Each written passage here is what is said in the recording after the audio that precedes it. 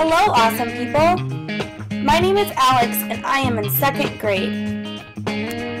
Did you know things have changed from a long time ago? It's true! In this video, you are going to learn how music players have changed over time. Are you ready to begin? Let's go! In mm-hmm. 1877, a man named Thomas Edison invented the phonograph. The phonograph was an invention that played music. This was the first time an invention was created that let people play music on a place other than the radio.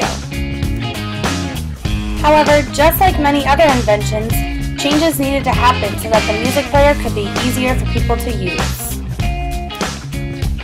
In the 1880s, vinyl record players were invented. Vinyl records played a large disc on a player. The disc had to spin to play the music. Cassette tapes and players were invented in the 1960s. You can still find many students using cassette tapes today in classrooms for listen to reading. It wasn't until the 1980s that CDs and CD players were invented. My, how times have changed since when Thomas Edison invented the first phonograph. MP3 players were invented in the early 1990s. For the first time ever, people could download and listen to music anywhere at any time.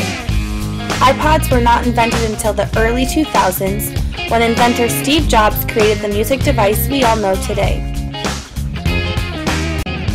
Today, we not only have iPods, we also have iPads, iPad Nanos, wireless speakers, smart TVs, iPhones, and so much more. I wonder what music of the future will be like. I can't wait to find out. Created using Powtoon.